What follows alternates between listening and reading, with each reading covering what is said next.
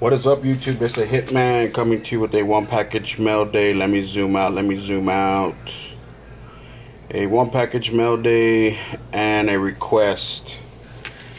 Um, this is from. Let's see if I can show you. I can show you the address. Everybody knows the address to that place. Yes, Panini America. It's a redemption that I didn't know that was still sitting there since April of 2013. I made another redemption, called in a redemption, and I saw it there, so I called them, and they, sure enough, they hadn't sent it. They told me it's been over four months. I can get another. They can send me another card. They asked me who my favorite. It was a. It was an autograph, 2013 autograph refract uh, prism of Derek Wolfe. I think he's a offensive defensive lineman for the Denver Broncos. Hmm. I thought they were gonna send me one out of uh because it was from 2013 Panini Prism. They sent me one, a Vance McDonald uh, NBA draft ticket Vance McDonald Prestige 2013. Could have at least sent me. I mean, 49ers is my team. I like it, but they could at least send me like a Michael James or uh, a Prism autograph or something out of the Prism, out of the Prism, uh, out of the Prism uh, line, product line. well, not too bad, like I said. And actually, my thing should have been a Prism, and it should have been. It was going to be numbered. It was a numbered card. This is not numbered. All it is, an, it was is a non card though. I give it give it that much. This is a non card autograph.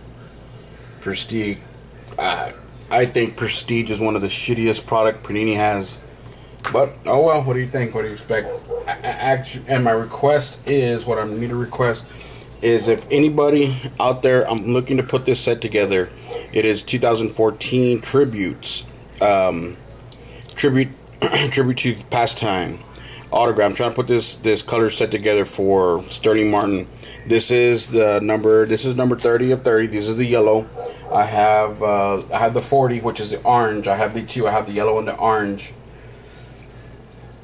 Uh, I already have two of those, and I'm also looking to put this set together for Starling Marte. This one will probably be a lot tougher because not too many people bought this product. A lot of people didn't like this product. Two cards for 90 bucks, you know, and a lot of the signers, a lot of the autograph players were really, really shitty.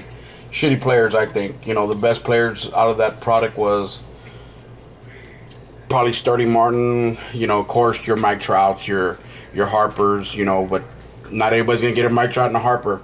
All your basic, you know, the rest of them are just piece of crap players that are really ain't worth a darn.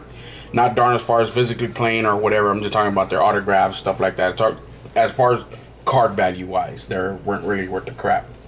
But yeah, if anybody knows anybody or if y'all got any, um, shoot me. Uh, PM me or just write on this video.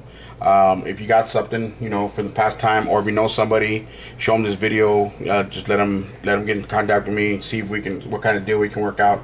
Like I said, I'm trying to put the two colored sets together for Starling Marte on those two products.